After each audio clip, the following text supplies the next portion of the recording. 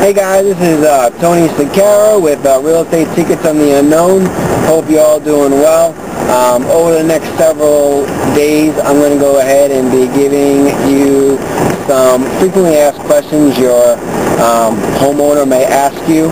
Um, being a, uh, a foreclosure investor, you're going to have several questions from your customers, and you just want to be on top of your game.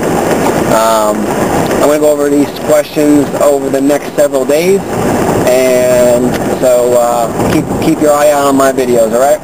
So the first question is, how long will this process take? Now, this is something that your uh, customer is going to be giving you or uh, asking you over the several first appointments, um, so don't worry about that. Um, just make sure you're upfront with them and tell them that uh, this can take anywhere from 4 to 14 months uh, because one, a lot of people want foreclosure, two, um, the lenders um, tend to take their uh, time on that. So just be upfront with them. Um, you want to clarify the time frame.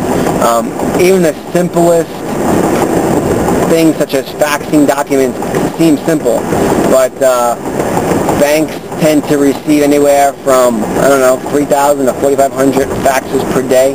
So you want to be upfront with your, uh, with your customer and tell them that uh, you may need additional information if that comes about. So, uh, so there's no surprises.